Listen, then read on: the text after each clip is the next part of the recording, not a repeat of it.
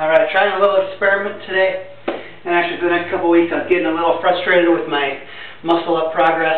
Felt like I could I could jump it, but other than that I couldn't do it. So doing some working on some muscle up negatives. So it's actually the third set, so I still got a few more after this, but